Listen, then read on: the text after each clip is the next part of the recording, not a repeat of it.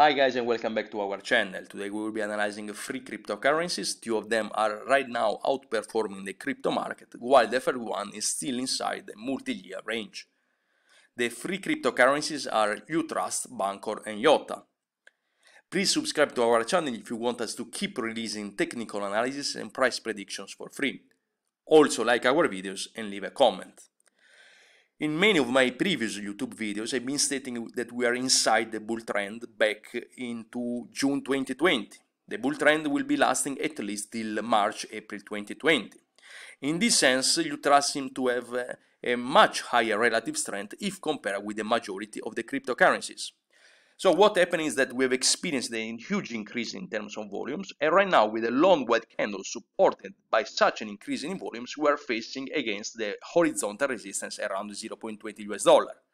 If we break above 0.20 US dollar, we are plenty of room till at least 0.80 US dollar, then 1 US dollar is a full number, and then we should be, after retrace and after a period of squeezing, we should be hitting the new all-time high. So the question is, is going Utrust to hit new all-time high over the 2021?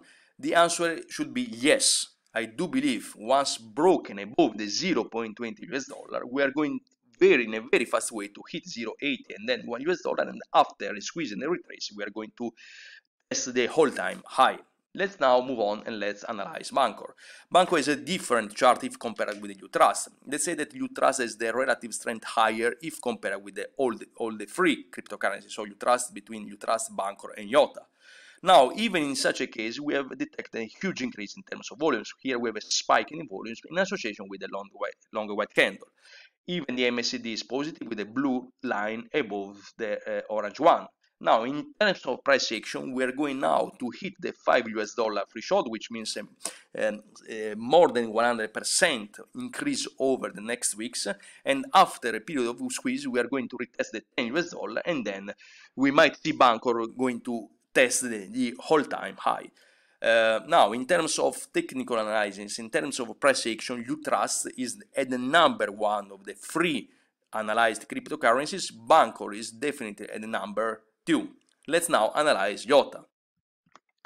As you can see here, uh, differently from Utrust and Bancor, we, are, we have lack uh, of volumes. Volumes are lacking. As you can see here, we don't see an increase in volumes, which means buyers and sellers are not trading IOTA right now. Uh, so what we need in order to see IOTA moving above this very first horizontal resistance around 0.42 is uh, actually an increase in terms of volumes. We should be seeing something like that. We should be experiencing an increase in terms of volumes. Now, right now, we can, as a first target, we could be facing the horizontal resistance around 0.42. With, but with this amount of volumes, we should be expecting a retrace from 0.42.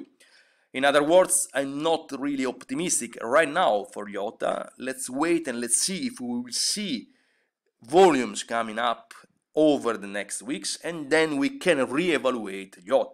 Right now, there are no reasons why we should be trading and we should be buying IOTA, if not for fundamental analysis. But under a technical, under a mere technical point of view, there are no possibilities to IOTA to overcome the to break above the 0.42 US, uh, US dollar horizontal resistance.